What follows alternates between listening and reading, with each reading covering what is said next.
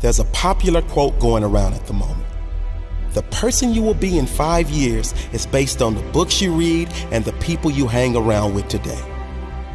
This is quite true, but it applies to everything else as well.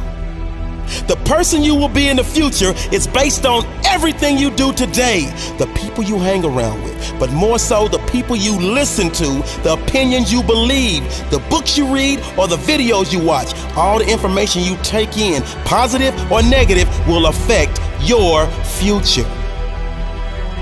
The workouts you do or don't do that will show up in the future. The foods you eat today will affect your future on a visual and energy level. The same is true with your thoughts and information.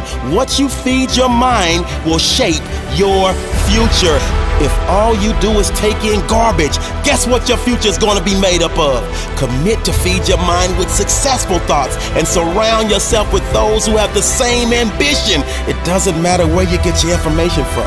You may read, you may get it from podcasts or videos. It doesn't matter. Just make sure you keep feeding your mind every day.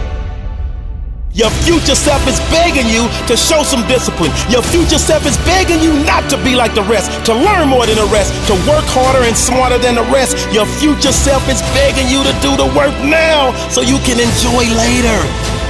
If you don't feed your mind with success, it will rot with mediocrity. What you do every day will dictate your future. What you want out of life, you must put it in. If you want success, put it in there. If you want health and fitness, put it in. If you want peace and happiness, put it in. Your actions will equal your results. My mind is strong. I am strong. My thoughts are strong. My beliefs are strong. My life is strong. They say I can't. I can. They say I won't. I will. They say I'm not. I am. I am limitless. I am.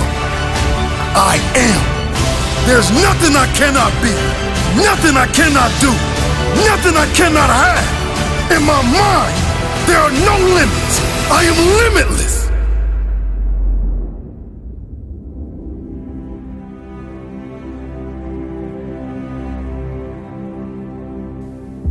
There's nothing I cannot be. Nothing I cannot do. Nothing I cannot have. There exists no limits in my mind.